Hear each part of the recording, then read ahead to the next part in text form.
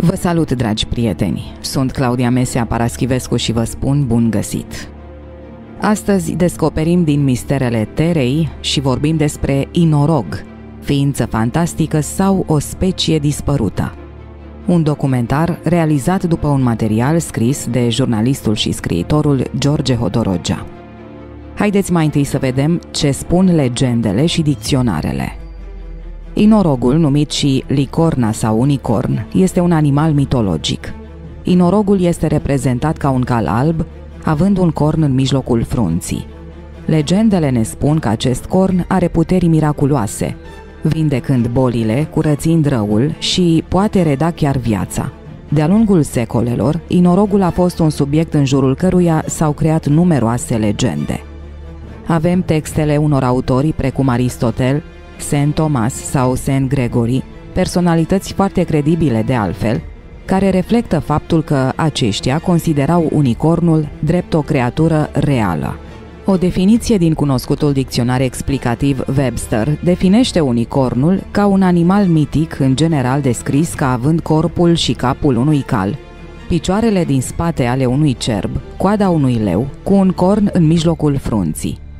Un fapt interesant, dar curios, inorogul este un animal fantastic, întâlnit în mai toate mitologiile pământene.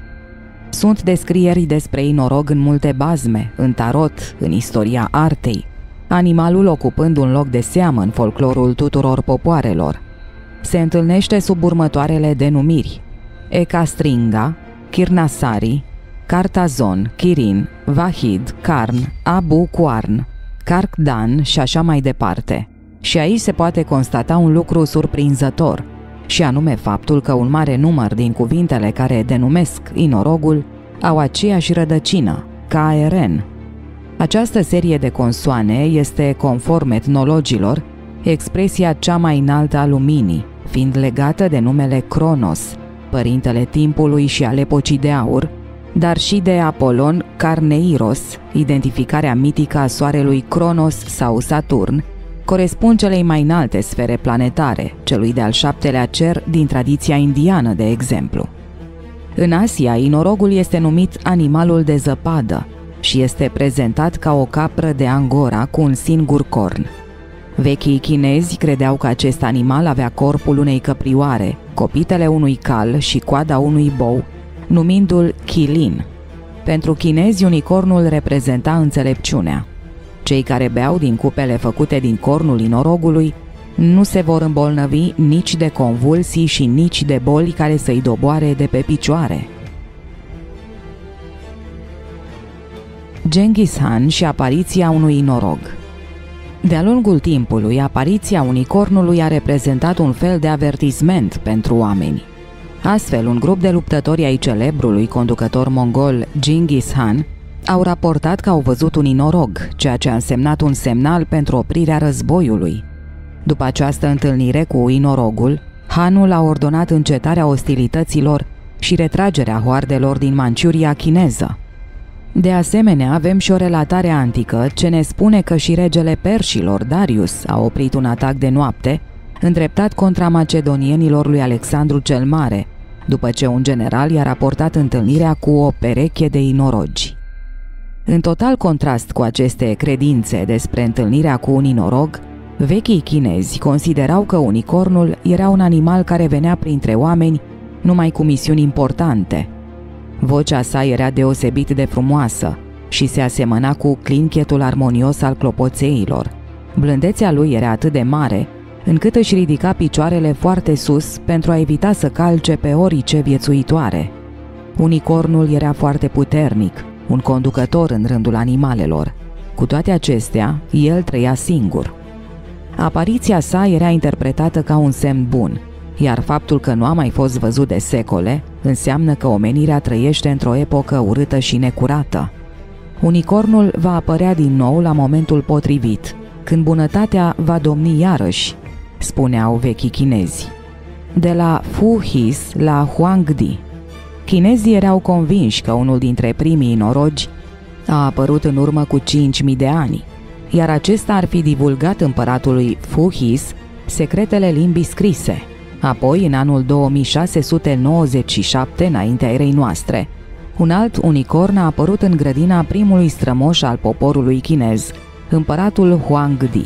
Se spune că însuși împăratul a văzut inorogul și l-a interpretat ca un semn că regatul său va dăinui și că totul se va derula pașnic. Cronicele chinezești amintesc și de faptul că doi unicorni au trăit în timpul domniei împăratului Yao, al patrulea din cei cinci împărați care au condus țara în urmă cu 4000 de ani. Ce spun cărțile sfinte creștine? Istoricii creștini amintesc că există mai multe picturi religioase care îl înfățișează pe Dumnezeu, dând nume animalelor, iar în fruntea tuturor perechilor de animale se afla un inorog. De asemenea, în Bibliile ilustrate, acest animal misterios, inorogul, apare între Adam și Eva, iar cornul său este îndreptat către arborele binelui și răului. Se mai spune că inorogul își datorează forța miraculoasă unei călătorii pe care o face o dată pe an spre grădina apelor paradisului, unde consumă plante magice dătătoare de viață. Sfântul Ambrozie spunea că originea unui unicorn este un mister asemenii nașterii lui Isus. Teologii susțin că pe timpul Marelui Potop, inorogul a fost cel care a salvat arca lui Noe, legând-o și trăgând-o cu cornul său imens, astfel salvând umanitatea, animalele și plantele de la o distrugere totală. Chiar și cunoscutul preot misionar Hook a afirmat la Vatican că inorogul a existat cu adevărat în Tibet. De asemenea, animalul apare chiar în Sfintele Scripturi, întrucât regele David zice în psalmi și se va înălța puterea mea ca a inorogului și bătrânețile mele unse din belșug. Autorii antici greci au cuvântul. Unicornul este întâlnit și în izvoarele istorice ale Greciei antice. Astfel, prima descriere a unicornului apare la medicul grec Ctesias din Cnidas, care fusese plecat să viziteze curtea regelui Darius al II-lea al Persiei. La întoarcere, el a scris lucrările Istoria Persiei și Indica, în care vorbește despre unicorn, confundându-l însă cu măgarul sălbatic. Iată ce scrie Actesias despre unicorni. Măgarii sălbatici, la fel de mari cum sunt caii sau chiar mai mari. Corpul lor este alb, capul roșu închis, iar ochii albastru închis. Ei au un corn în mijlocul frunții de circa un cubit lungime, adică 45 de centimetri.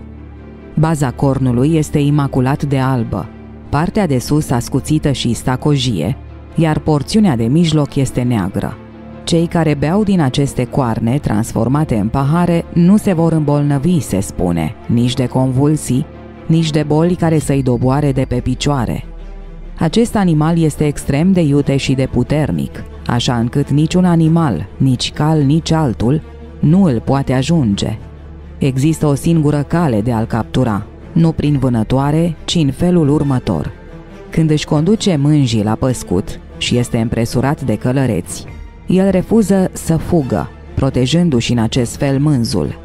El se luptă cu vârful cornului, lovește, mușcă și dă cu o forță cumplită, atât în cai cât și în oameni, dar cade sub loviturile săgeților și ale sulițelor pentru că nu poate fi capturat viu. Există la muzeul Pins din Angers un vas grecesc din secolul al IV-lea înaintea erei noastre, care este incizat cu imaginea unui inorog, dar și o amforă pe care este pictat un taur cu un singur corn. De asemenea, inorogii apar și pe anumite monede grecești ateniene și spartane. Se spune că însuși regele Pericle a primit în dar un inorog crescut de un păstor din nordul țării. Fiind atât de rar în acele ținuturi, animalul a devenit ajutorul cel mai de preț al regelui atunci când pleca la vânătoare sau la războaie. Inorogul a fost pentru prima oară atestat în lucrarea Indica a lui Ctesias, medicul grec al împăratului Persiei, Artaxerxes al II-lea, despre care am amintit mai înainte. Plinius cel bătrân descria inorogul ca pe cel mai fioros animal, care seamănă la trup cu un cal, la corp cu un cerb, la picioare cu un elefant, la coadă cu un porc. Tot Pliniu susținea că are un singur corn, negru și lung de trei picioare, în mijlocul frunții. Se spune că această fiară nu poate fi prinsă vie. Iar Marele Aristotel spunea că n-a mai văzut niciodată un animal cu o copită așa puternică și două coarne, și doar câțiva au copite solide și un singur corn, cum ar fi măgarul indian și orixul. Inorogul lui Cantemir Inorogul apare și în opera lui Dimitrie Cantemir, Istoria ieroglifică, unde el este simbolul omului superior, neînțeles de societatea mediocră. Povestea inorogului din opera lui Cantemir este dramatică, la fel ca existența domnitorului care se va stinge în stepele Rusiei, departe de pământul care l-a văzut născându-se. De fapt, eruditul voievod Dimitrie Cantemir nu a făcut altceva decât să preia anumite motive transmise de legendele Moldovei de Nord. Legendele bucovinene, dar și unele vrâncene, povestesc că pădurile și codrii ascundeau în desișurile lor o creatură bizară, un cal de un alb pur, având un corn lung, spiralat și ascuțit în frunte, iar la rădăcina cornului o piatră strălucitoare, care se numea carbunculus și era văzut întotdeauna doar în compania zânelor. Din legendele românești, aflăm că inorogii aveau ochii albaștri ca cerul și o privire total blândă, aproape umană. Cum putea fi capturat un inorog? Acest animal este extrem de iute și de puternic, așa încât niciun animal, nici cal, nici altul, nu îl poate ajunge. Chinezii antici dădeau unica soluție pentru capturarea acestui animal fantastic. Exista o singură cale de a-l captura, nu prin vânătoare, ci în felul următor. Atunci când inorogul își conduce mânjii la păscut și este împresurat de călăreți, el refuză să fugă, protejându-și în acest fel mânzul. Atunci inorogul se va lupta cu vârful cornului, lovind, dar și mușcând atât oamenii cât și caii acestora. Era momentul să fie lovit cu săgețile și sulițele, pentru că animalul nu putea fi capturat viu. Dar și anticii vânători indieni și etiopieni se foloseau de o anumită stratagemă pentru a prinde aceste animale. Ei luau la vânătoare un puternic și frumos tânăr, pe care îl îmbrăcau în straie de femeie, împodobindu-l cu diverse flori parfumate și mirodenii. Un bărbat astfel aranjat era lăsat să stea în munți ori în pădurile unde vânai norogul, astfel încât vântul să-i poartă miresmele până la animal, în acest timp vânătorii ascunzându-se pe aproape.